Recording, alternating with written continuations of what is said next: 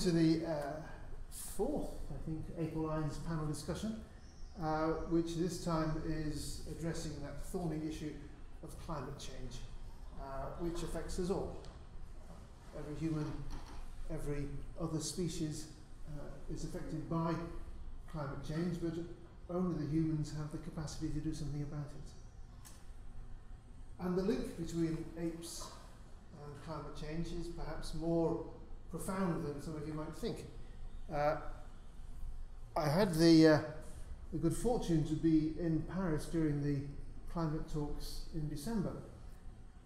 And on the Monday of the second week, two week period of negotiation, uh, over the weekend, halfway through, a draft text was, was published.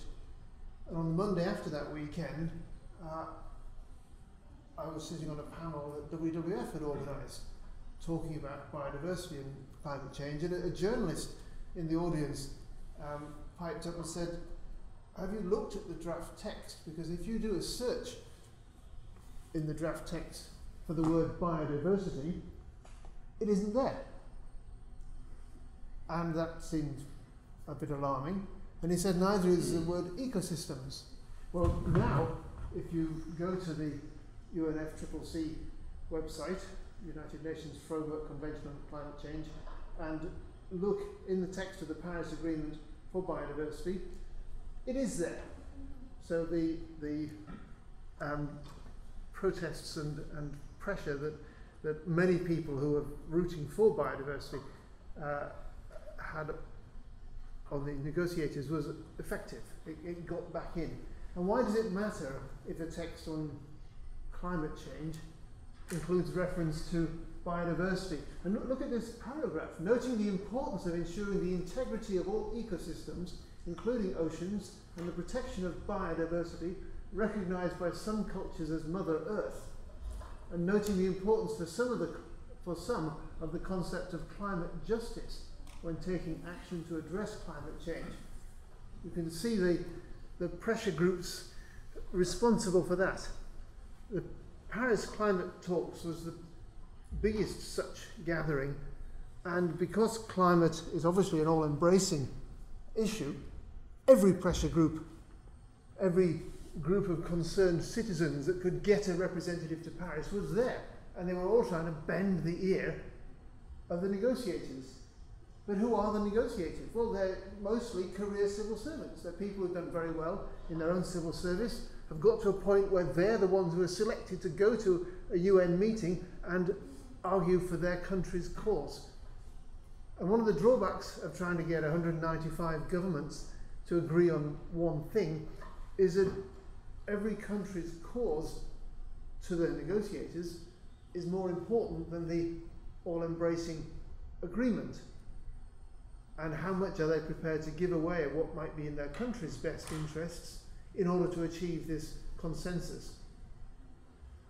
So it's worth having a look at this rather lengthy um, document, but you should bear in mind that it's not a legally binding treaty.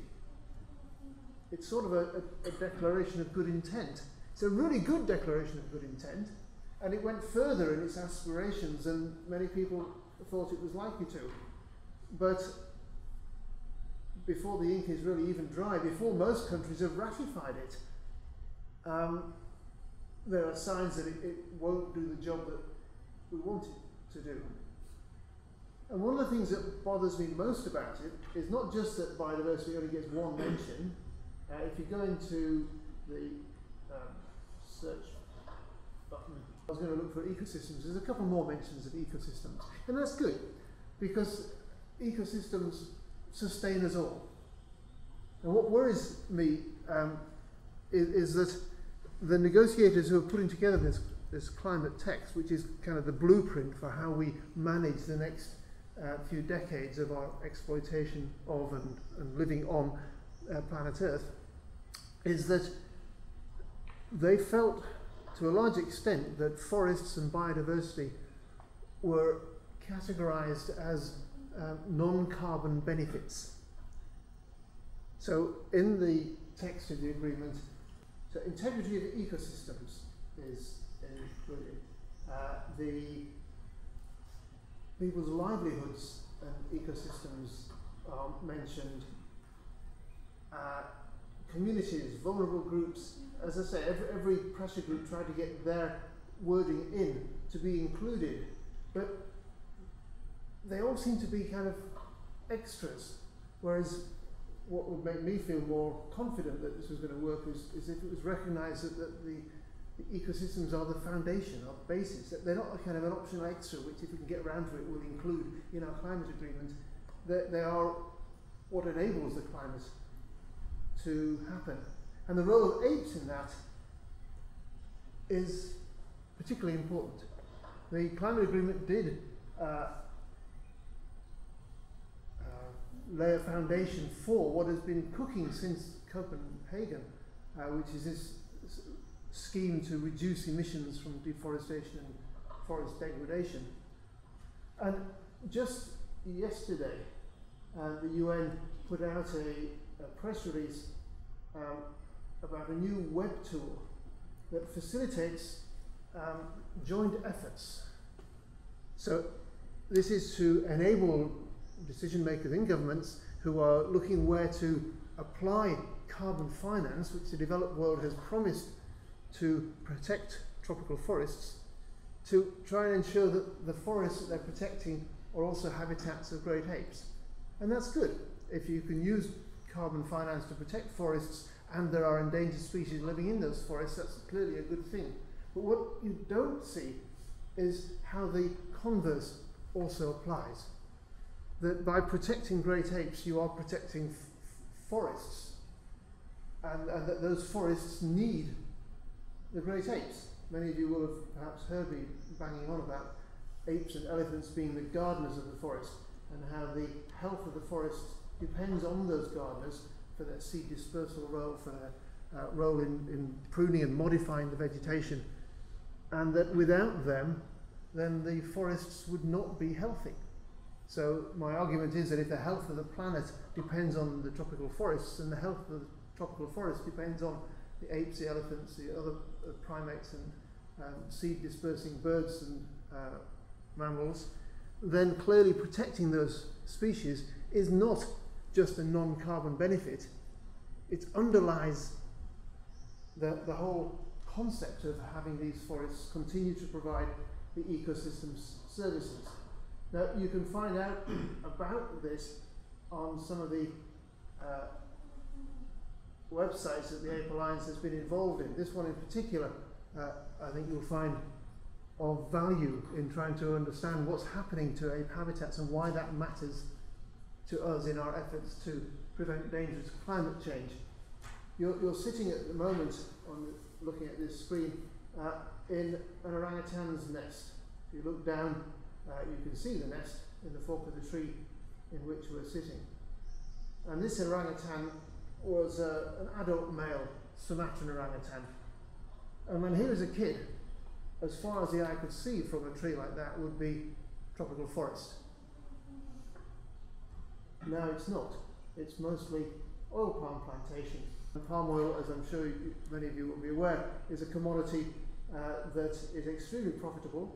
Uh, it is the, the, the, crop of choice if you have uh, the rainfall and the soils to support oil palm cultivation.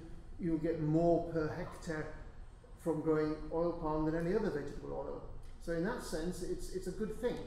But it is responsible, our, our demand for it is responsible for the felling of a, a great many tropical forests and the reduction in numbers of orangutans. Now the oil palm itself is an African species and now the companies that are running out of land in uh, Malaysia and Indonesia are looking to Africa to plant new plantations in the country of that species origin, uh, which is worrying because if the same thing happens to African ape habitat as has happened and is happening to orangutan habitat, we're going to be in serious trouble.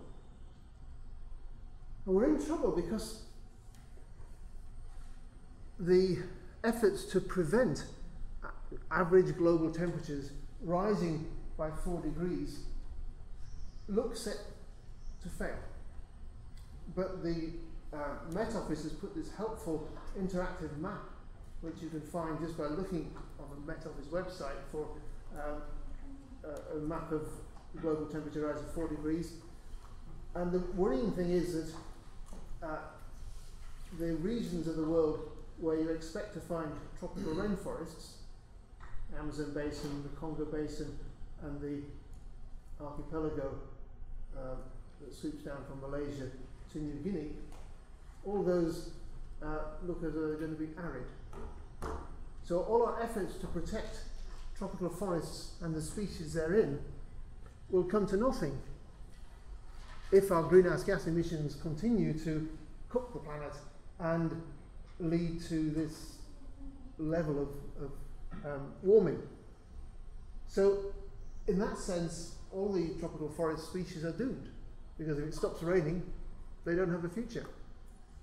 Fortunately, though, the protecting of those forests is central to preventing this outcome. So the tropical forests are not kind of an optional extra that if we can get around to it, it'd be nice to save. They are absolutely essential to prevent this outcome and in protecting them and the species that are ecologically necessary for the health of those forests is going to prevent this, then we all, we all gain. So protecting apes and elephants and tapirs and toucans and spider monkeys in, in Latin America, which some of the negotiators were putting in the category of you know, non-carbon benefits. It'd be nice to have them if we can, but we need to focus on, on the role of the forest in carbon sequestration and storage. Um, that, that kind of thinking seems to, be, to me to miss the point, and it led me to make the comment to the journalist uh, in the um, in the discussion on the second week of the climate talks that, that if, if I had my way, um, negotiators wouldn't be allowed into the room if they didn't have some qualification in ecology.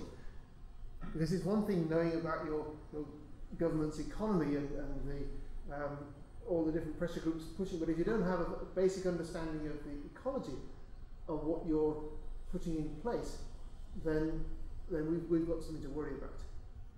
So how do we convey um, basic ecology to people who are already um, at senior level in their chosen career? Uh, it ain't easy. And it's something that NGOs spend a lot of their time doing. Uh, now we're fortunate this evening in having a, a, panel which comprises a, a, field biologist who has been studying chimpanzees in Cameroon, Osiri, uh, Osiri uh, Doumbé, uh, and then we're going to invite uh, Andrew Mitchell, um, the head of the Global Canopy Programme, to come and talk about his efforts to enlighten negotiators and get them to take better decisions. Uh, and then we'll have a, a, discussion where you can uh, express your own thoughts or ask questions of the, the panel. So, um, Osiris, would you like to come and um, tell us about your work? Thank you, Ian. Good evening. So, I'm going to talk to you about uh, chimpanzees, humans, and climate change, but more specifically in uh, one subspecies of chimpanzees, the Nigeria Cameroon chimpanzees, only found obviously in Nigeria and Cameroon. All right, so uh, I work for the Bristol Zoological Society, but I am, so the, I am also the Secretary General of SECACO, which is a Cameroonian NGO based in Bamenda, the northwest region of Cameroon. All right, so I'm sure you're all familiar with uh, chimpanzees, Pan troglodytes ellioti, endemic to tropical Africa. It's our closest relative with the bonobo, and there are four subspecies of chimpanzees. When you look at the map, uh, chimpanzees are fairly widespread throughout Africa, from Senegal to Tanzania, and the four subspecies are Pantroglodytes verus, the western chimpanzee, Pantro Troglodytes schweinfurti, excuse me, I don't know how to pronounce this one, eastern chimpanzee, the central chimpanzee, and the one I'm interested in, the Pantroglodytes ellioti. I'm interested in this subspecies because my father is from Cameroon, and uh, I wanted to study this one because it's the least known and the least studied subspecies of chimpanzees. So this is the historical range of the subspecies. As you can see, I placed a question mark here because we're not really sure how far east, uh, west, sorry, this uh, subspecies range extended. On the other side, you have Pantroglodytes verus, and in the middle, you have the Dahomey Gap. It's an area of uh, Benin and Togo where you don't have forest anymore, so we don't know uh, what was their um, the border of these two subspecies. So this is the historical range of uh, Pantroglodytes ellioti, and this, now it looks like that. As you can see, it shrunk a little. And recently, we, uh, as uh, primatologists specialized on this subspecies of chimpanzee, we estimated that there were certainly, certainly less than 9,000 individuals in the wild and probably less than 6,000 individuals. And there are only uh, 40, 50 individuals in captivity, only in uh, the sanctuaries and um, refuge centers, sorry, of Cameroon and Nigeria. There are some healthy populations. You have Gashaka-Gumti National Park here in Nigeria, Banyang-Mbo Sanctuary here in Cameroon, and Ebo Forest here in Cameroon. Then you have a fourth relatively healthy population in Mbam et Djerem here. You also have a couple of hundred individuals in Mount Cameroon. So all these sites have been studied. Mostly uh, the, the, the, best site so far is Gashaka-Gumti National Park. It's the easiest way where you can see wild uh, Pantroglodytes elliotis. And with Ebo, the Ebo forest, these two sites have had some uh, long-term studies. But what about the other places? Rachel Ikemeh, a colleague of mine from Nigeria, is working on the Niger Delta chimpanzees. But so I was interested in trying to find a way, well, I wanted to know um, the distribution of this chimpanzee in Cameroon and Nigeria. So in 2011, there was an action plan uh, which was uh, created by the IUCN, and they estimated 10 priority survey sites. As you can see, most of them were in Cameroon, and I just decided to be interested in the Northwest because there are two priority survey sites and also two priority conservation sites. So we surveyed with my team um, all the remaining natural habitats of the region. The region of the northwest, the northwest region of Cameroon is relatively diverse. As you can see, you have um, savanna woodland area, but you also have lowland forest, submountainous forest, and mountainous forest, and on the top, the second highest mountain of Cameroon, Mount Oku, it's, an, it's a region which is rich in endemic species. This is a species of bird which is only found in the mountainous forests of this region in Cameroon. It's the Bannerman turaco. And it's also very diverse in people. In this region, almost every village has its own dialect. And sometimes it's very difficult because if you learn the dialect of one village, you go to the neighbors and they do not speak it. So you have a lot of people, and you've had a lot of people since a long time.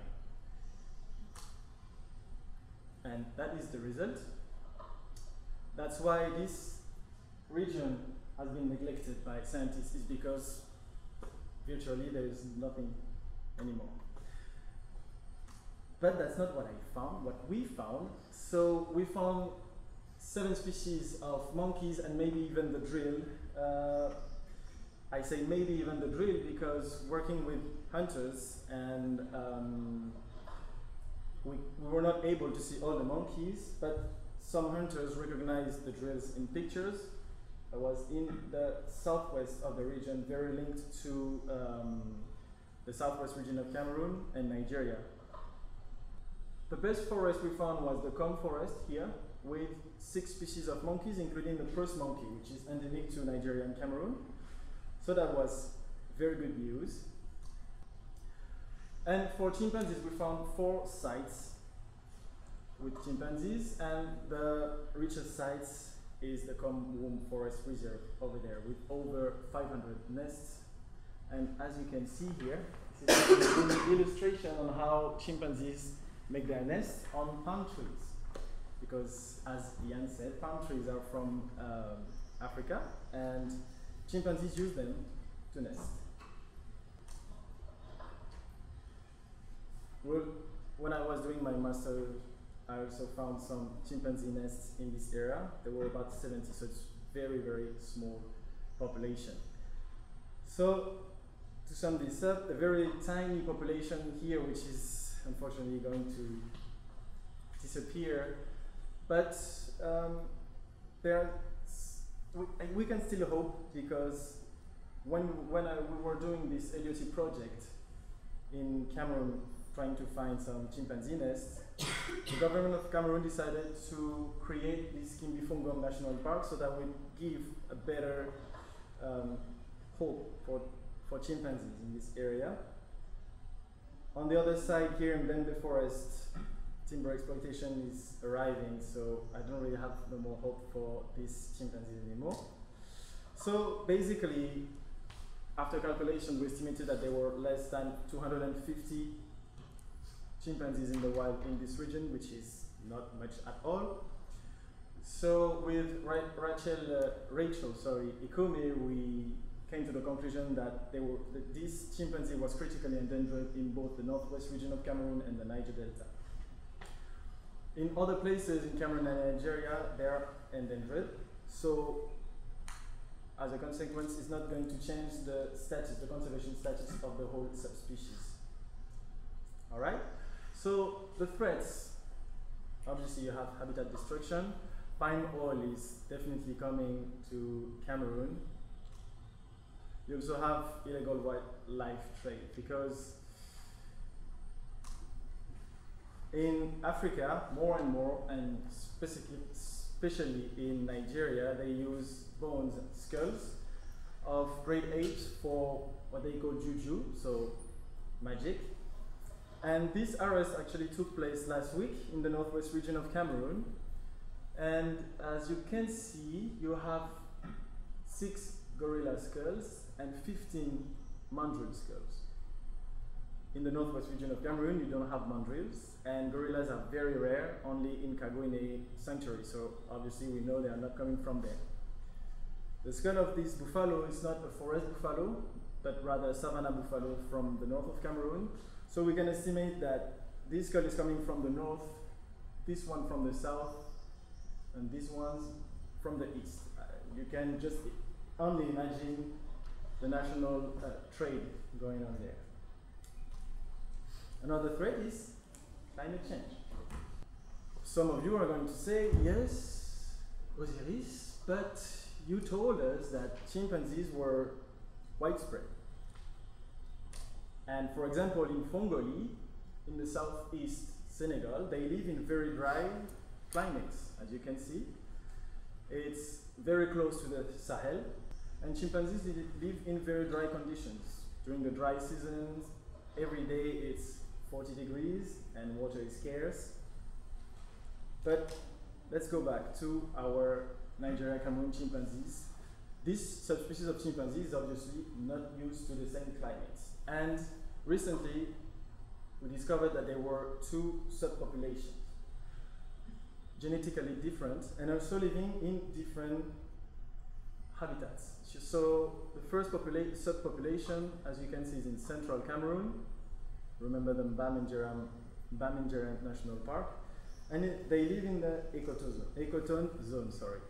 The ecotone zone is the area where the forest meets the savannah.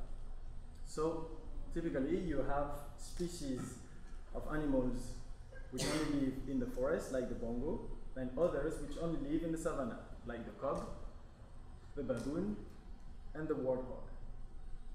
All right? Then you have the second subpopulation living in the forest zone. It's very different climate because you have much more rain and the rain is more constant throughout the year, and it's higher in altitude. An example here in the Combe forest, and obviously the wildlife is typical of the rainforest, like the red river hog, the red-eared monkey, which is endemic to Nigeria and Cameroon, the drill, once again endemic to Nigeria and Cameroon, but also Bioko Island, and the Cross River gorilla. So, Sesink, Clee, and colleagues just last year tried to estimate the suitable habitats in the next decades according to three different scenarios.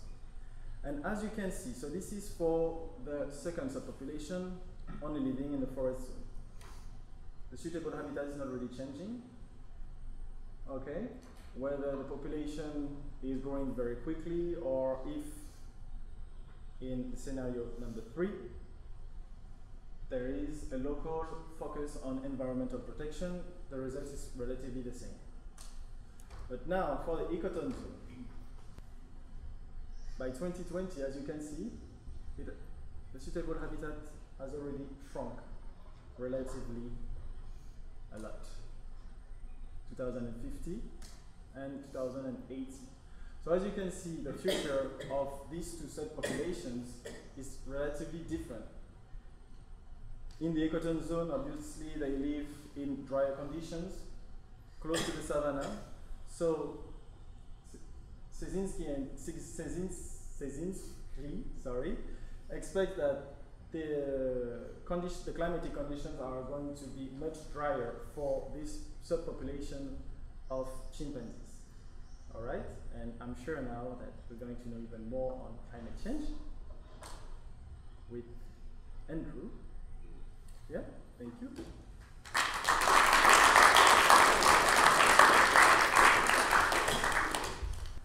Okay, good evening, everybody. Uh, I've just got a few slides to show you really as talking points. Um, because Ian has set out uh, what happened in Paris last December and some of the you know, the detail of what goes into those agreements and how difficult it is to get agreement and get everybody to sign a piece of paper. I'll, I'll, talk a bit about that. and then we've heard also from Osiris. Um, what it's like when you get into the detail of a particular species in the middle of the forest um, that is highly threatened by what is happening around us.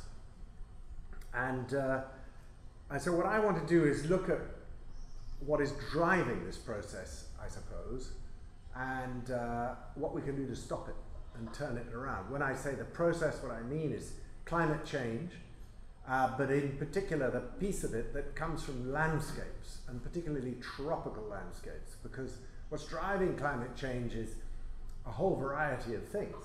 Um, the central heating we have in our homes, the cars we drive, the air flights we take, the huge energy needs driven by fossil fuels, but it's also coming from landscapes, the way we produce food, the way we till our soil, uh, the production of food in the tropics in particular, and deforestation is a massive driver of climate change and is one that most people didn't hear about at all until about 2007 uh, when people really started talking about it um, on the international stage in terms of driving climate change. So, and uh, it's really good that you're all here on a sunny evening because you are a pretty special species because most people don't care about this stuff.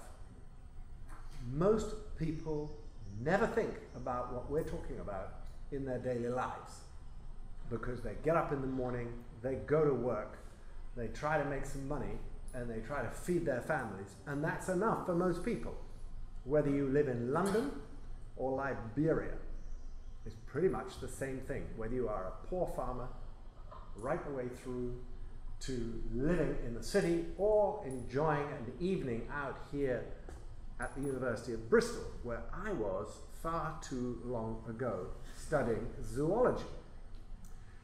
And I know what it was like when I was your age. I'm talking to the students here, rather than people who are nearer to my age, there are a few. When you're sitting here and wondering what on earth you're going to do with your life over the next four decades or five decades that are ahead of you. Let me just ask how many people here work in natural sciences? Or doing degrees in, in anything to do with biology or anything? Just go on, stick your hands up, don't be shy. Okay, well, I would say 50% probably. What are the rest of you doing? Let's just get a few. Uh, anybody here who's not doing natural sciences, what are you doing? Yes. Wildlife filmmaking. Okay, wildlife filmmaking. I can see why you're here. Uh, engineering. Engineering. Why are you here?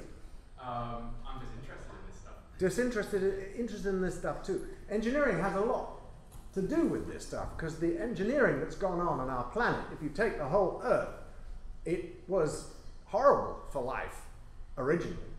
Too hot, too much methane, too many gases, and there was no oxygen.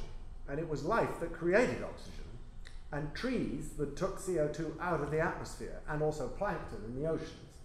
And that's how we got a reversal where CO2 was taken out of the atmosphere and we have lots of oxygen. That's massive, both geoengineering, because it's stored in limestone and all sorts of things like that, and fossil fuels, but also done by plants. And a lot of people talk today about things like, oh, well, you know, to get ourselves out of the climate problem, uh, we should do some geoengineering. We should maybe put some mirrors up in space and collect energy that way. Wouldn't that be good? Or why don't we put you know some sort of machine on top of our power stations and do industrial CCS? Does anybody know what industrial CCS is?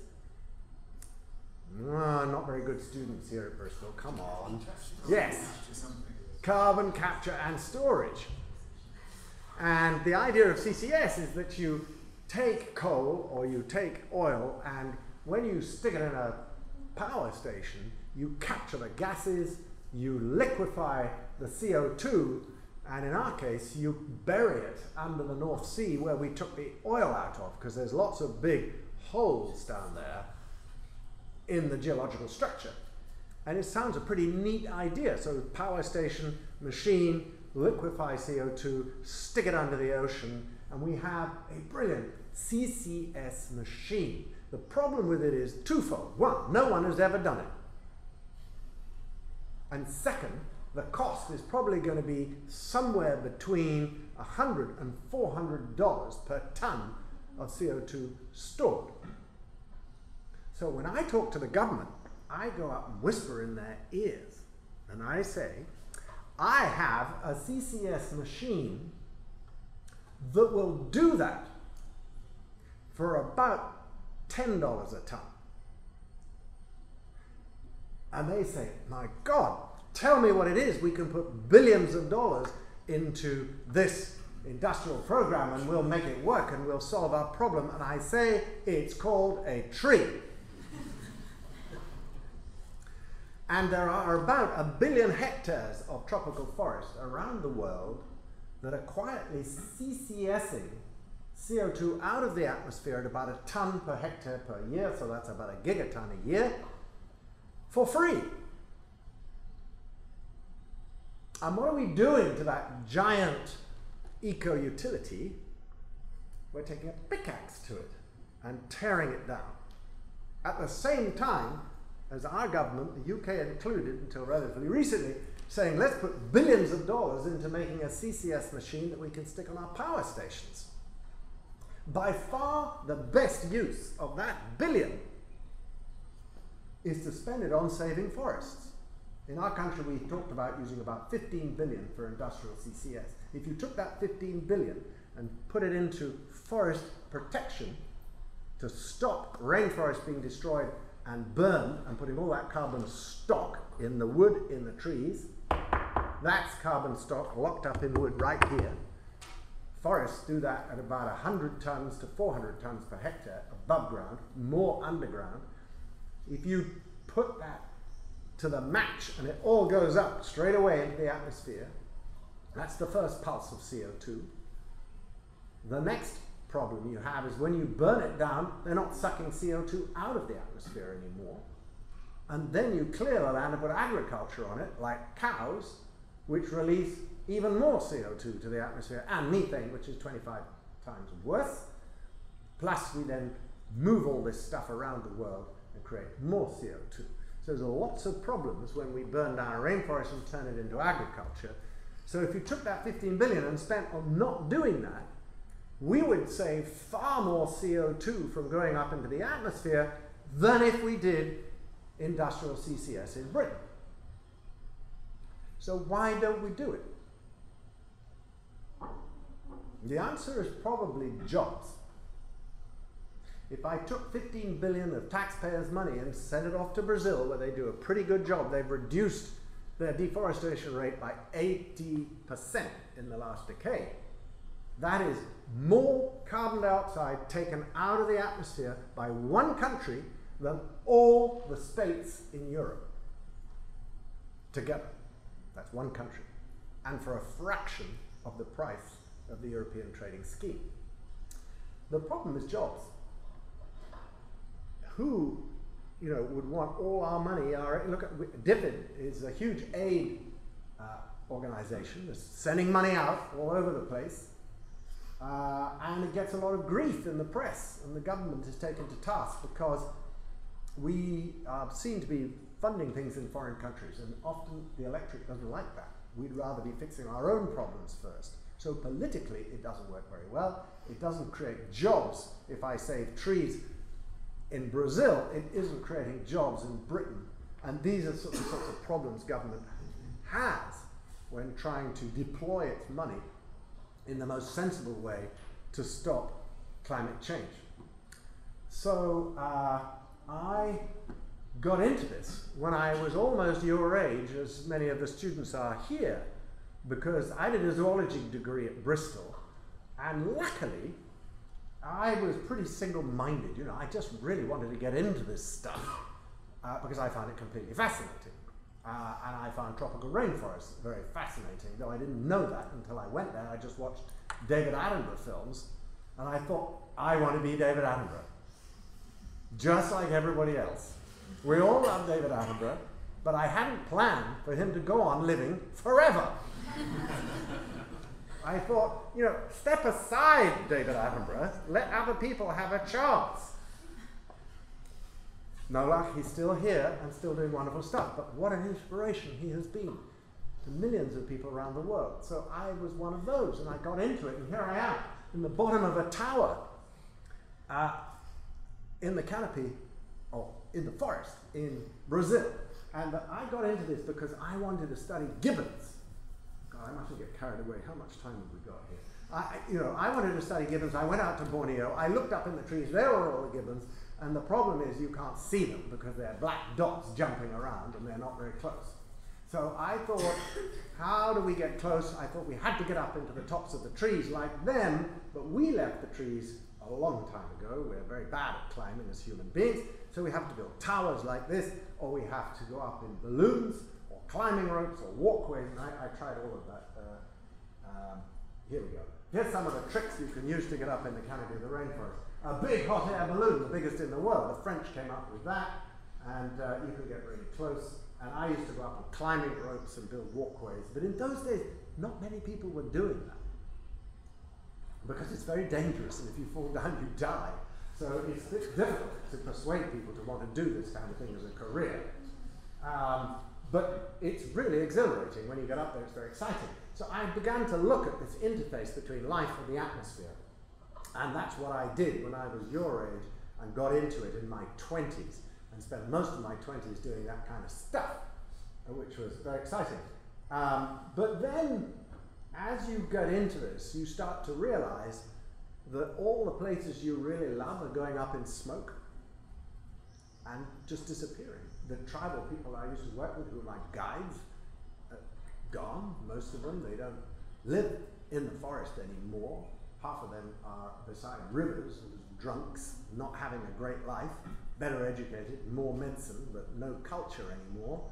Uh, palm oil has driven across these areas in vast amounts. So I came back to this and in, uh, I did a number of other things in between, made a few films, started something called Earthwatch in this country, which you may have heard of, and then I uh, began to get angry and thought, this is ridiculous. We, you know, the full effort of the World Wildlife Fund and Greenpeace and everybody has been going at this for 20 or 30 years and nothing is changing. We're still losing forests apace.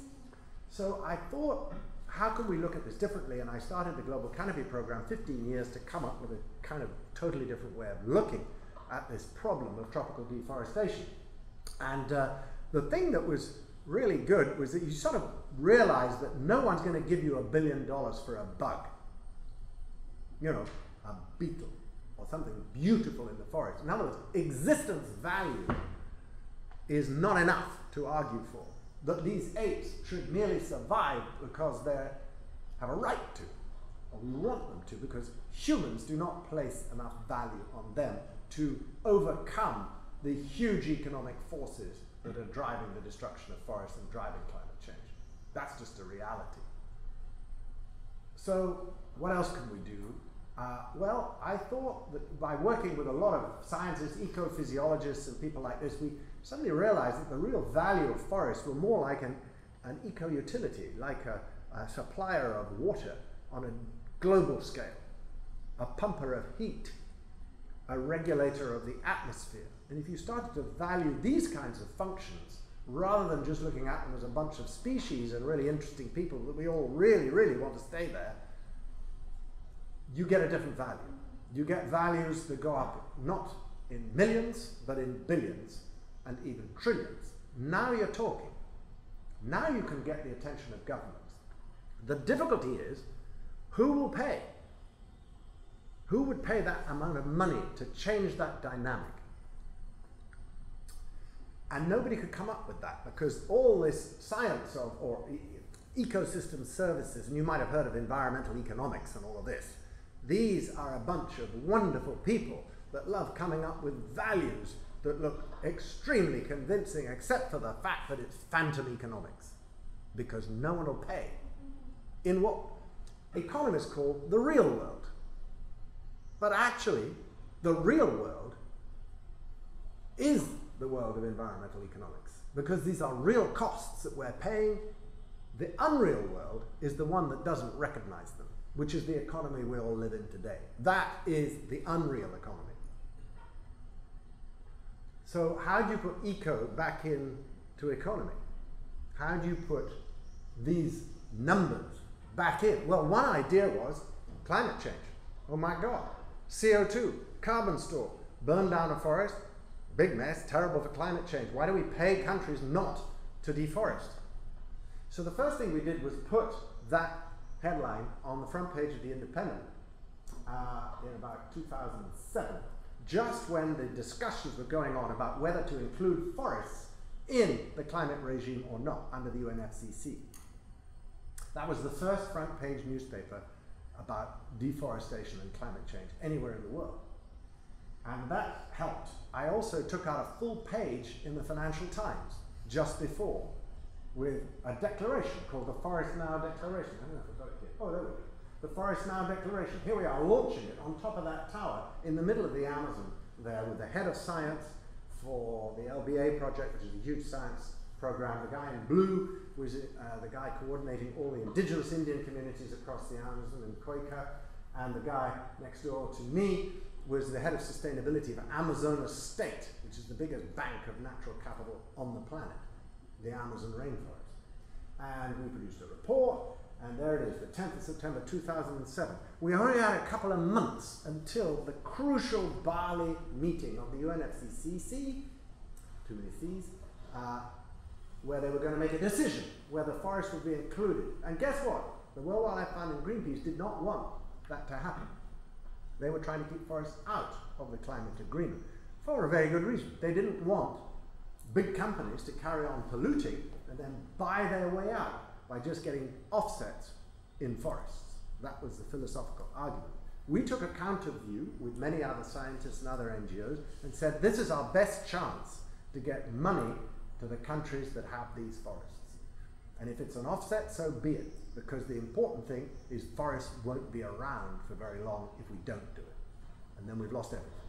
All the species, all we will never win climate change if we don't stop deforestation.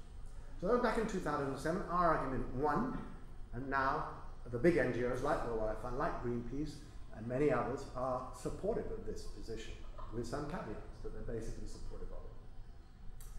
So then we come right up to date now, because a lot happened between 2007, not least the disaster of Copenhagen, where basically nothing happened and everybody was really upset, except it was good for forests. By working with the Prince of Wales and a bunch of others, we got a fantastic agreement there for 4.5 billion to be given to try and stop deforestation, the largest amount of money ever going into conservation. And that has been spent over the last five years to try. And what happened with that money? What it did was sensitize 195 governments around the world that forests matter. And a lot of NGOs have really worked hard to do that. Forests matter in the climate change agreement. Because most people are thinking about ships, or no, not ships actually, but thinking about fossil fuels, cars, aircraft, anything but forests. And we had to fight very hard over the last five years to keep forests up there in the attention. And why? Because of all that smoke. And so it came to Paris when all of this had been going on so hard to try and get forests included in a mechanism called REDD. Anybody here knows what REDD is? Yes. What do you think it stands for? Can't hear you. Don't be shy. What? Something about endangered species. No. REDD means reducing emissions from deforestation and degradation. And it's something you should all know about if you're interested in this stuff. Because REDD is the mechanism that is enshrined inside the Paris Agreement. There was a big fight to get the text, and just as Ian has said, whether we should have it in or out and all kinds of stuff, but in the end it's in. And it's got a plus on it. Because REDD plus, the plus bit is the ecosystem services in addition to the carbon. So he said it's not just about carbon, it's about the species, the gardeners of the forest that Ian is always talking about. It's about that too. Uh, it's about water, it's about heat, it's about all these things that forests do for us. Why is forest carbon so important compared to any other kind of carbon you take out of the atmosphere? Why is forest carbon so important? Because it's alive.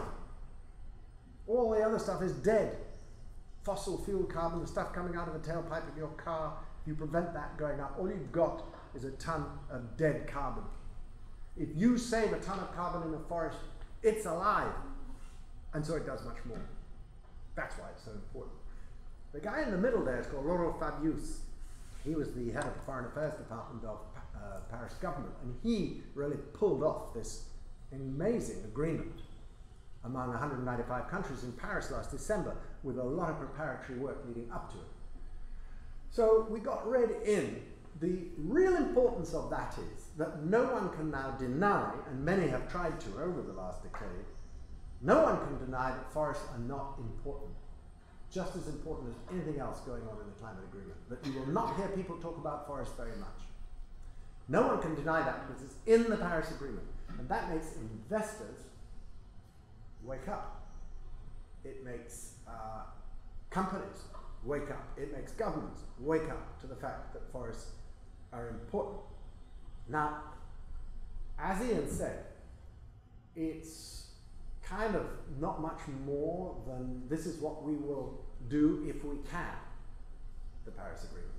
The good thing is that whilst it's not binding, what is binding is reporting on how you're doing towards the goals of the agreement. So all these governments are going to have to say once a year, this is how we're doing. And the guys who are doing really badly will be shamed, and the people who are doing really well will not be shamed. So there will be a kind of a process like that. So that we shouldn't pretend to think that just because there's a Paris Agreement, everything's going to change. Because it's not. And here's why.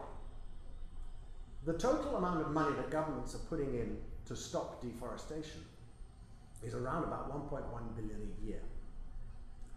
And the total amount of money that companies are spending on trading the products that cause deforestation, that's beef, soy, palm oil, paper and pulp, to some extent biofuels, coffee, cocoa, a little bit. Those are the things that are driving deforestation, things we all use. The value of that is 135 billion. That simple statistic explains why we are not winning and why we never have and why we never will. Because you cannot defeat that kind of money with 1 billion when you've got 135 billion against you. So you get to thinking, you know, even though we've got this REDD agreement and Paris is dependent on a carbon market, which is not functioning well anywhere in the world except perhaps in the European trading scheme, and they exclude forests from the European trading scheme. So until people are going to pay for this carbon, and in the case of forests, pay governments not to deforest because of the carbon they're saving, ain't nothing changing. It's just nice to have, and it's woken people up, and lots of plans have been made. There's no big capital really flowing. All the capital is flowing into the commodities that are destroying forests, not the other way around. So the next thing you have to do, and on my journey, is you have to get out of the green jungle and you've got to get into the concrete jungle. I don't feel very comfortable there, I have to tell you. But I spend more time going up and down elevators in these buildings, talking to people on the top floor in the boardrooms of these companies, trying to change the way they think. And it's not easy because they make a ton of money out of this. Palm oil is one of the most profitable things you can grow on the land anywhere. $3,000, $4,000 per hectare as a return. If you're a farmer, you'll get about $50 per hectare. If you're a soy, sorry, that's a cattle farmer in Brazil. 50 to $60 per hectare. If you're a soy farmer, about 250. Nowhere close to palm oil. What are you getting for a standing rainforest? Nothing at all, except a little bit of tourism, if you're lucky. So you only get money when you cut it down. So the trick is how do you make forests worth more standing up and cut down? Not easy. But the answer, to some extent, lies here. The City of London is deeply involved in financing deforestation around the world. So is your pension. How many of you know what company is your pension? If you had one, and most of the students, probably haven't thought about a pension yet. But if you did, how would you know what it's invested in? I have a pension. I went to ask my financial advisor, I said, I want to know whether my pension is funding deforestation or not. He said, That's a weird kind of question. Nobody's ever asked me that before. I said, Well, go and, go and find out. He came back and said that my pen, your pension company didn't ask, ask, understand the question. Okay, I'll make it simple, I said. I know these 250 companies, you can see them in the slide I'll show you in a minute. Maybe this one. No, not yet. We'll come back to that. These 250 companies are the biggest ones in the world that are involved with deforestation in one way or another. They're not, say, some good, some bad. The whole spectrum. Just tell me whether my pension has got holdings in any of those companies. Thank you very much, he said. He went back. The pension company said, We're not telling you.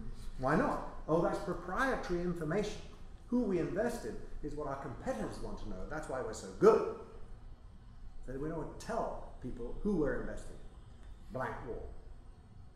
I eventually got in front of the chief investment advisor of the company that runs my pension. He's looking after $58 billion of money. And we had a pretty interesting and robust conversation about how do you deal with environmental risk in a pension. And they say, well, you know, ESG. Anybody know what ESG stands for? Environment, social, and governance. That is how people look at environmental risk inside a pension. And when they do that, they use this Bloomberg terminals. Have you heard of Bloomberg terminals? No. Well, get to know a Bloomberg terminal because it's Bible for investors. Your money, if you ever make any, and you will, if you put it into a pension or you are involved in an investment company, most of the people who these are called fund managers, and they invest money all over the world, and the way they decide what is a buy and what is a sell is by getting information out of a Bible, which is called the Bloomberg Terminal. And it's just a computer. It'll cost you $22,000 a year to have one. And Bloomberg has, in 2010, I think, no, 12, 310,000 of them around the world. And people look at this and they make decisions about the profitability of companies and the risks they face. And I found myself in this room looking at the screens where they put up the Bloomberg terminal screens with 30 investors around the table. And I said to them, look at that wonderful Bloomberg terminal. That's how you make your investments. And do you know what? You're blind. You're totally blind to environmental risk, to social risk, and to some extent governance risk, particularly the E in ESG. Do you know why? Because on the screen there you can see, and I'll count them one, two, three, four, five, six, seven, eight, nine. There are nine lines of data on environmental risk in the Bloomberg terminal, and hundreds of thousands of other lines about everything else. Doesn't that tell you something? The little blue line at the bottom is one that my organization put in the terminal. It's on water risk. And it helps investors know when you're trying to invest in a company, in this case it was gold and copper mining, and gold mining is a big problem in tropical forests, how to credit risk that company based on water risk globally. And you can go and use it inside a Bloomberg terminal now. So we're adding a line. I said to them, 20 years from now, you're going to be full of this stuff in your Bloomberg terminal because it's going to change the way people invest. And that is the key to solving this particular problem. So that's another thing you can do as a talking point. What about the companies and investors? This is Forest 500. Write it down. Go and have a look on the website, forest500.org. This is something that my group, Global Canopy, does. We collect data on 250 of the biggest companies worldwide that are causing or linked to deforestation. We also collect data on 150 investors and 50 governments, and we benchmark their performance, just like a Fortune 500 benchmarks the most successful companies in the world. These are the ones that we're benchmarking. And you will see there that uh, we're looking at their policies on deforestation risk. Do they have any at all? Well, the corporates are way ahead of investors. The corporates, around there, you can see that roughly 60% of the corporates, that's the pale green, have some kind of policy on deforestation.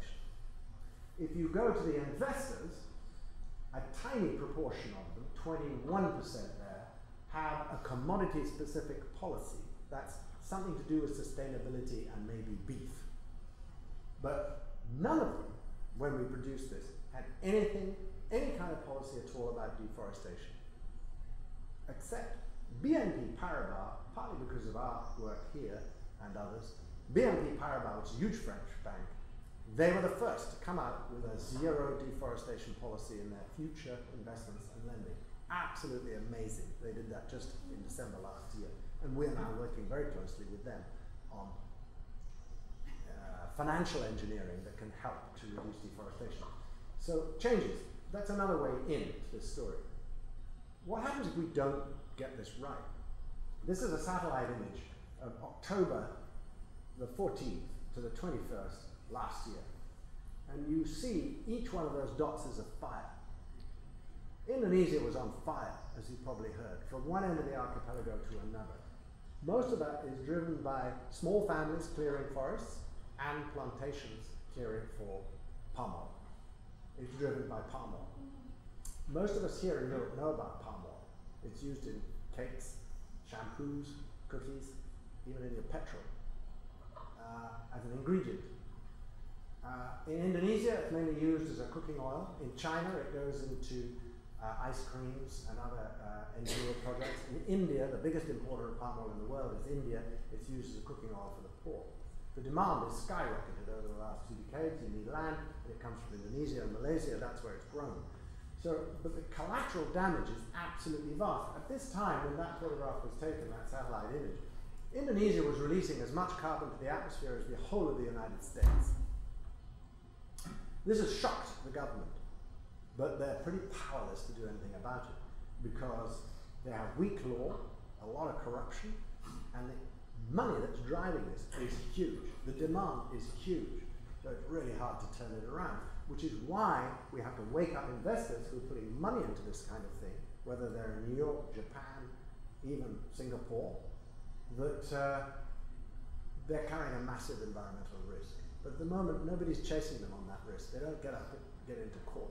So this is the sort of areas that we've got to work on as well. Um, well, biofuels, I just put that out, I hate that picture. But um, these sorts of shock ads have been very useful over the last couple of decades to wake people up to, you know, biofuels, for instance, which have, if they're not managed properly, can be really bad. If you take a lot of oil, uh, palm oil, and stick it in as a petrol substitute, you probably would be better off sticking to the petrol because the amount of carbon that's produced in CO2 from the production of palm oil. On the other hand, if you grow palm oil right, don't do it in the rainforest, it's a wonder product. It literally money grows on trees. So sustainable palm oil is perfectly producible. It's just there's not a very good market for it today. Collateral damage like this, I was last month, I was in southern Borneo visiting an orangutan project that I've been working on for many years. And this is Mary. Mary is totally blind. She was found last year uh, with 100 gunshot wounds in her body because what happens with the palm oil industry is they need to clear the land and the uh, female orangutans often have babies, they don't escape so easily, and the farmers shoot them. Uh, the mothers often die, and the babies are taken and sold as pets. This used to be very popular about over the last couple of decades. It does not happen as much today.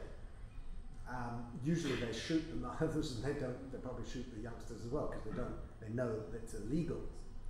Uh, with the Orangutan Foundation, with which I work, uh, which is dedicated to great ape survival, in this case orangutans, uh, they are called up when a farmer gets a palm oil plantation and the orangutans are in it because often they come out of the reserves in the dry season when they need a bit of succulent food and they like the tasty young palm oil shoots of the palm oil newly planted trees.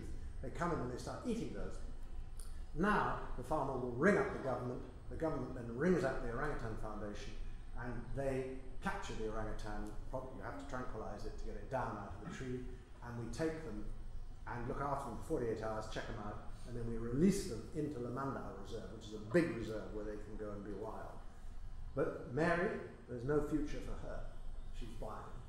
And she's, it's a desperate situation. What do you do with one individual? She's just one example of this collateral damage. And you and me, and all of us in this room, are, share 97% of the genes of an orangutan. We're really close. Cooking the rainforest. This is to show you that this is a product, a hamburger. Uh, and if you look there, you'll see it contains soy in the top left, paper and pulp in the bottom left, in the top right, beef and palm oil. One of the things we're doing now, and lots of people are working with us on it, we had a meeting just last week in Oxford with 37 organizations, is getting the transparency of that supply chain known. Lots of companies know those supply chains, they don't want to reveal it. But we are exposing this so we can track these products all the way from where they're produced to where you and I them. That needs to happen. And we need to look at the money too. This is not to necessarily take cudgels and beat on these companies. It is to help them change. And sector leaders like Unilever, like Mondelez, like Cargill are all beginning to change massively. It's quite extraordinary what has happened just in the last 18 months, where some of the largest companies in the world engaged with this have completely changed their policies and are moving and have made pledges to zero deforestation. It's fantastically hopeful for the future. Well, this is, I think this is a bit like me 40 years ago, swinging around in the canopy of the rainforest and whoops, uh-oh, it's all gone. Well, it isn't all gone yet. And I think that the extraordinary changes that have happened uh, just in the last 18 months with big companies waking up the financial sector, we have to work more on this end of the problem because it's so powerful. And just because it's powerful, it doesn't mean we should take it on. Because, and not everybody likes this when I say it, that you won't save a rainforest by hugging an orangutan or hugging a tree. We have to deal with the demand that is causing it. And it is so important that we do everything from the end of the spectrum where you've heard from Osiris, working at the front line, dealing with ape conservation right there at the front line. We have to go from forest chiefs all the way to finance chiefs. And right now, we have to convince the finance chiefs to change because if you change the money, you change everything. Thank you very much.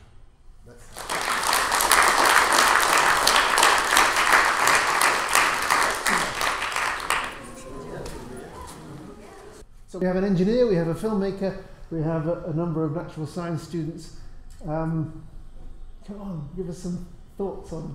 on please. Um, th- this is a, a- a I suppose it, it feels like a very naive thing to say, but something I get very frustrated about in the world of conservation communication is um, the attitude of many, including I find the emails I get off Greenpeace um, are often uh, rooted in, in demonising um, people, big corporations, politicians, and I felt the same at the Bristol Climate March um, a couple of months ago, which was otherwise a fantastic um, thing to, to be at. A lot of people were very angry, understandably, um, and I just wonder if that level of anger and frustration that a lot of organisations use to, to raise support and to raise really important issues of awareness is actually uh, demoralising and debilitating to the overall cause in some way. And I'm, I'm, I'm not preaching kind of all out peace and love will solve, the, solve every problem, but I think there is something to be said for a more uh, like positive, holistic approach that says we realise that there are huge uh, corporations working in these ways, and we realise they're run by people who are trying to earn money and earn money so that their kids can go to school, which is the, exactly what the person farming palm oil in the rainforest at a local level in southwest Cameroon, where I've been to and seen the palm oil plantations, is exactly the same as the guy in charge of sugar palm or biopalm or whoever at the very top level. These are these are human beings doing the same sorts of things and facing the same kinds of struggles. And if I want to make films about it in the future, from my point of view, emphasise the positivity and the humanity behind all these issues. So that's not really a point or a question. That's just a Good thought, though. I wonder whether Osiris might answer from a perspective of the people you work with there. Um, does does anger help? Does you know? Does it? Does what, sorry? Does anger about these issues help or not? Uh, not really. yes, if you, with local people over there, if you put too much anger anyway, they're not going to really like listening to what you have to say. I think um, you need to be more calm, as you say, not not being peace and love, eh, but uh, rather calm and straight to what you want to do. I, for the example in Cameroon, I know that like in uh, well locally and historically they've been growing palm oil because like in Southeast Asia that's what they use in their oil. So even if you go into a very remote area, you- you're still going to have palm oil plantation, but it's going to be very very small, small pieces of land, and people will not necessarily understand why you don't want big corporations to extend this piece of land into the rainforest. Now the problem over there, and I think there was a problem in southwest Cameroon, was with Herakles. Herakles. Yeah, with Herakles, because locals did not want this palm plantation to arrive, and some local chiefs were against it, and so a local NGO was against it. So then now the problem is when you have, especially in Cameroon, a very highly corrupted country, when even if you disagree peacefully, you're going to go to jail. That that's uh, the problem.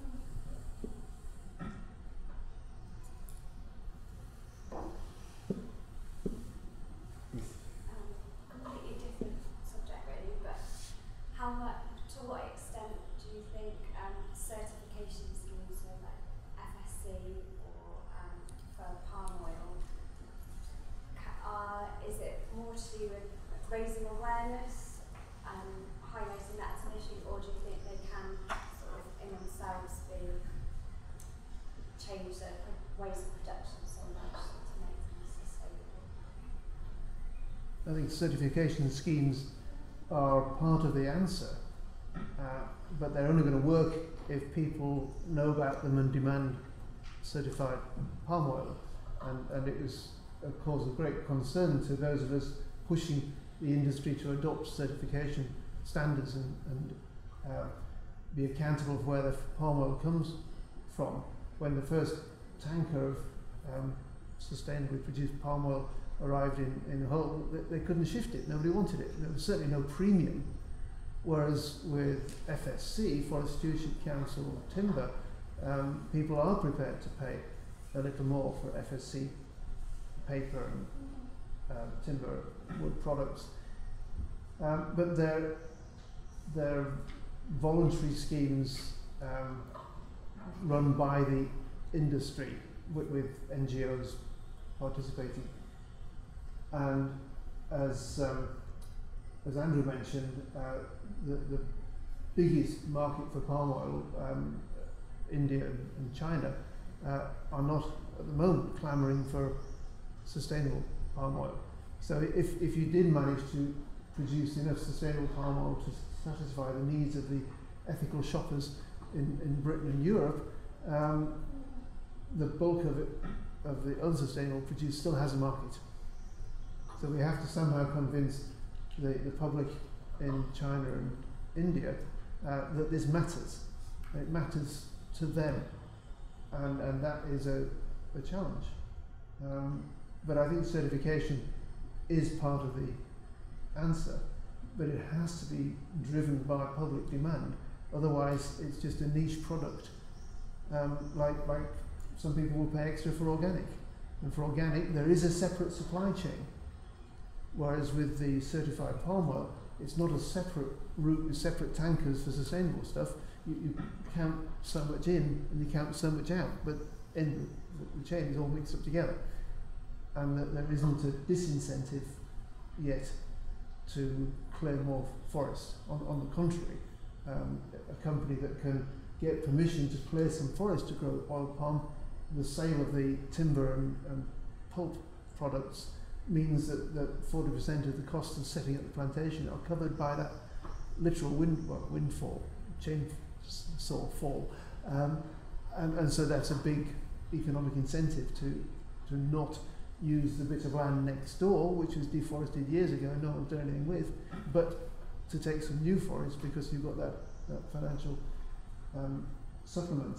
And until there is a, a, a kind of economic pressure to match that, um, I don't think we're going to win. As, as Andrew pointed out, the, the economics are um, relatively small chunk of money trying to protect forests, huge chunks of money looking for ways to exploit them or the minerals beneath them uh, or, or the land, which is going to have a, a, a more immediately profitable um, value. I think a fundamental problem I have with certification schemes is, is what Ian has alluded to, and that is they're all designed to produce a product that nobody wants to pay for. And as a result, market share with FSC, which has been around for 25 years, is still only about less than 20%, I think. Uh, with palm oil, it's around about 15. Um, there isn't any sustainable beef around uh, in the tropics, and soy is just sort of getting there. So round tables for almost everything have been invented, and they have variable effectiveness depending on where they were created. Um, but the fundamental thing that has not changed is that, uh, and this is what needs to change, is that sustainably produced products should be cheaper than business as usual. If we could do that, then everything would change.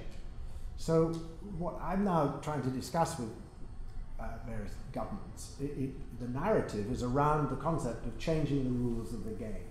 And the more we start saying that, the more I think people will start thinking about it. Because it's ridiculous.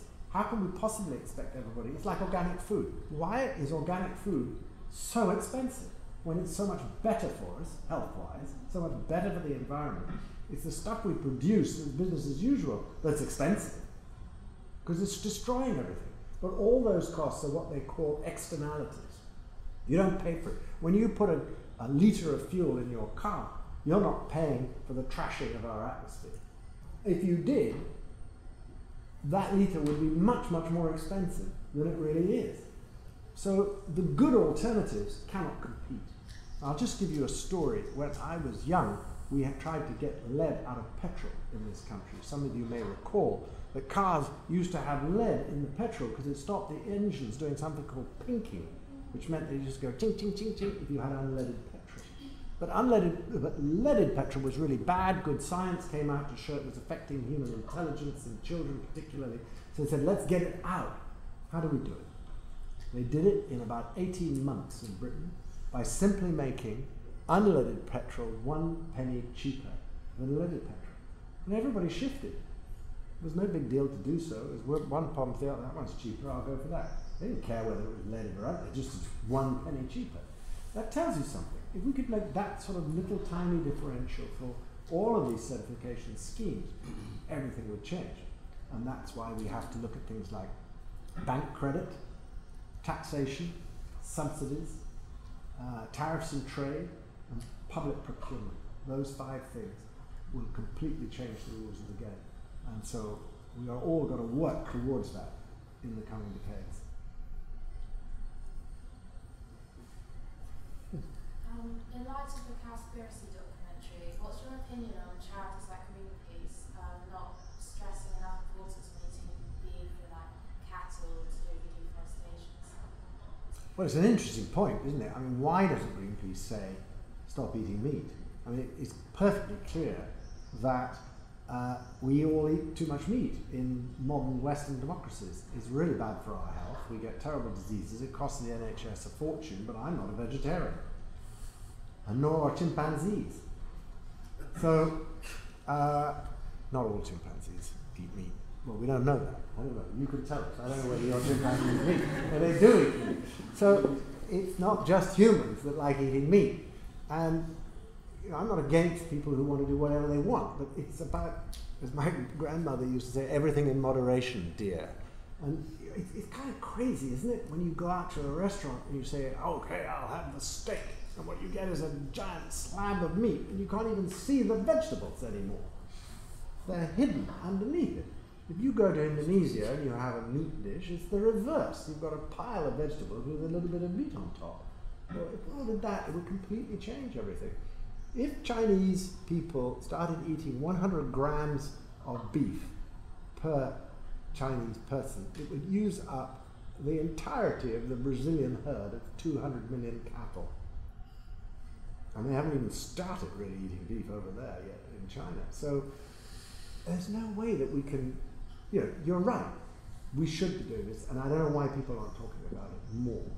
I think it's amazing to see how many more, how many people are vegetarian in this room? See, that's probably 30%. I'm sure if we went back 10 years ago, or 20, it wouldn't be that. There's a lot of young people who are going vegetarian now, and I think people say, oh, that's a little strange, people of my generation, you know, they're kind of weirdos or something. Say, hang on, India, there's a billion people and most of them are vegetarian.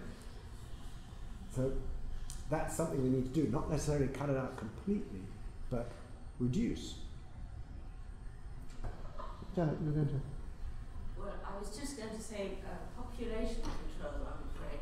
That would be a David Attenborough banging the drum. But that is overall the biggest problem. But you said that the Indian population relies on palm oil for their cooking, and you have this vast population. So, I mean, really, the message about population control is, is as big as any other. It is not a popular one. Um, well, all of this comes down to population. Um, well, population and levels of consumption. Yeah, because but we just have a lot, a lot of people on the planet, but it seems intractable. It's gone off the political table because so many countries push back uh, at the UN level, and it's very difficult to discuss these issues in many countries. But, um, and uh, it's not a particularly popular discussion point in old democracies the, where the fertility rate is now falling quite quickly. So, I mean, I think it, you know our country is so overpopulated in Britain. It would be great if we if our population declined significantly, and then we wouldn't have such an overcrowded countryside. But if that happened, there'd be lots of people say that would be disaster economically. It's like GDP. You know, the number of people you can sell things to is better and better, so we better have lots more of them. Um, and so everything does, a lot of this comes back to population, but I am not a population expert. What you kind of hear though is, oh, well, it's going to level off. The best way to deal with population is to make people wealthier, because the richer you are, the fewer children you have. And that is to some extent true, I think, is what I'm hearing from population people you know, in countries where the standard of living has been raised, particularly giving women control of I their was own going to say, empowering women is the. Uh, is the key thing, and you'll see uh, uh, population stabilizing remarkably quickly. But can we do anything to stop it globally? No one yet has found an answer to that. There's a strong caveat to that. It's raised to a very specific level. And you can go beyond that. You've gone back into the whole greed conundrum. It's 1% who are burning up the rest of the planet. Mm-hmm. Well, that's a, another. That's not so much population because that's just uh, Well, it a pyramid As that's very, more very steep. sell. Yeah, more people. mm, I see Who's what you mean. controlling Yeah, yeah, the system? yeah. Wall Street. Yes. I was just wondering, you said that palm oil is the most productive thing to grow. So what's stopping the farmer from growing palm oil? What's the alternative that he has? Um, I, I, I said that, I think it's probably one of the most, one of, I should have said one of the most productive things, but I think it probably is. Why, it doesn't grow everywhere. Palm oil cannot be grown everywhere. It's, it's a palm tree. It requires a lot of water and sunshine and heat. So you can't grow it where you don't have those conditions.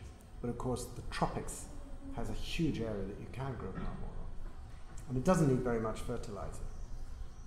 What, what's stopping the farmer? You're saying we, we need to stop deforestation, but it's the farmer who's doing it. How are you going to try to control to control him, uh, so to persuade them to, to grow it differently. to try to stop deforestation? Okay.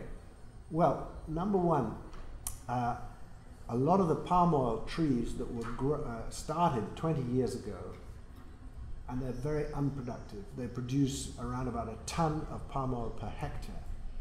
So what the farmers need to do is to take the old trees out and put in plant new ones, which can produce anything up to six tons per hectare. Uh, and the difficulty with that is that the families look at no income for five years, nearly five years, whilst they're waiting for the trees to grow. The idea is that then you would be able to make six, six times as much palm oil on the same area of land so that you wouldn't have to cut down lots of rainforest to keep growing it. Other people would say, oh no, that just makes that hectare much more profitable, so even more money will go in. We don't know, that's the, a paradox. But basically, we, for the farmers, there is no incentive to stop cutting the forest at present, except the law, and the law is weak, so they can do it easily, or there's corruption and you can pay officials to turn a blind eye. There is no market incentive yet, but that is coming. So if there was a market incentive, the farmer would, if he knew that if he grew palm oil by cutting rainforest, he couldn't sell his product because it's branded as unsustainable, they wouldn't do it, except to uh, unlawful mills. So what you're seeing is that you need to have financing up front to help pay for the farmer to buy the new products, uh, improve their farming practices, and then plant the new trees, and to support them over the five years that they have no income. And that's what is a huge barrier to this change. There are many others. Land title is another one. Who, own, who are you going to pay if they don't own the land they're on? A lot of farmers have no land tenure, or they claim they have, but it's not true. And that's really difficult to sort out as well. So they can't borrow from a bank because the bank won't, usually they're collateralized loans, which means if you own this land, I will lend you money. But if you can't prove you own the land, you can't borrow any money. So it's cheaper and simpler just to go cut some more rainforest. That's why it happens. Yes, which is why we're getting areas of Cameroon where your maps show basically a, a macrame instead of a rainforest belt, you've got a macrame belt. And what worries me is, is that on, on a continental scale, um, it, it isn't going to provide the ecosystem services that it used to, as more and more forest continues to be cleared. If you've still got the species present, but they're at a tiny percentage of their former range and number, um, then they're not able to do the job that they were doing. And, and I, I use apes and elephants as, as examples. We estimate that um, a couple of lifetimes ago, a couple of human lifetimes ago, so in the early 19th century, um, there were probably 10 million elephants in Africa.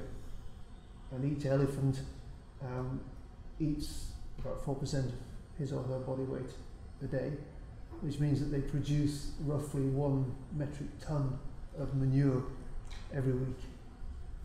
10 million elephants, 10 million tons of manure fertilising the forests and savannas of Africa. Now we've got fewer than half a million elephants. We've already lost 95% of the nutrient recycling, um, soil enriching activities of elephants.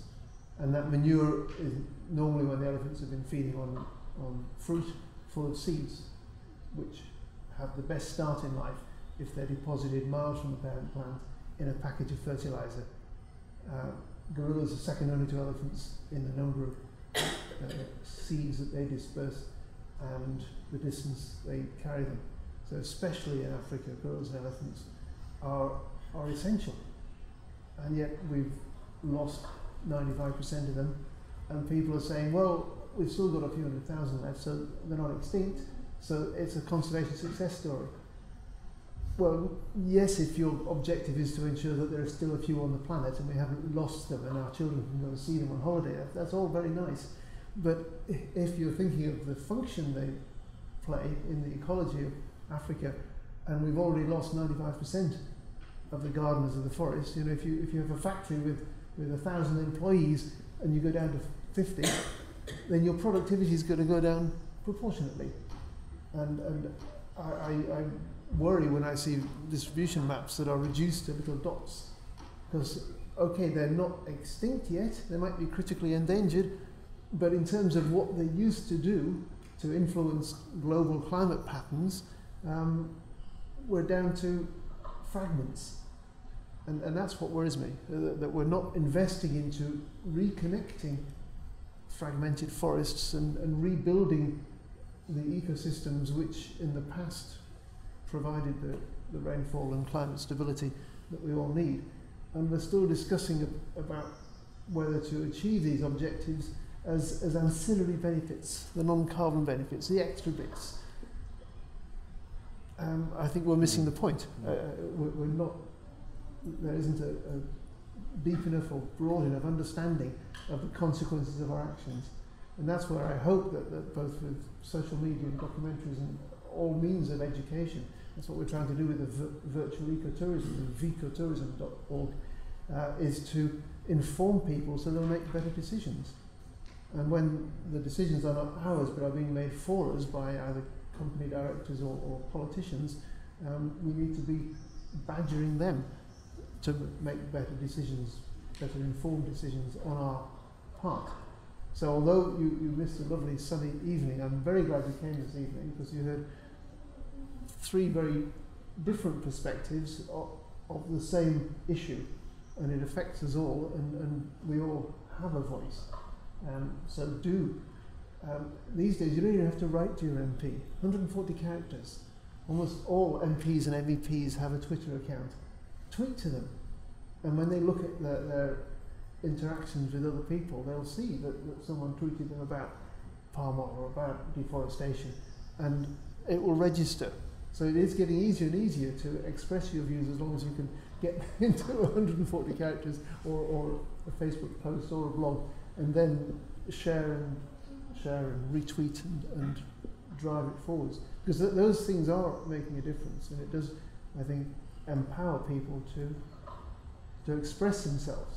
Um, we have that in a way that, that um, when Andrew and I were first making forays into uh, conservation and tropical forests, um, it, it, hadn't even been dreamed of. So it, it is it is both um, a challenge because all this technology requires energy, and that's at the root of much of our problems. But it's also an opportunity which enables us to change the course of events. Um, energy storage, renewables, ditching fossil fuels it will happen if, if we make it happen. And I think that's why it's encouraging to see um, so many of you coming and participating in this discussion. So thank you. The Ape Alliance is so much more than just apes. Um, thank you.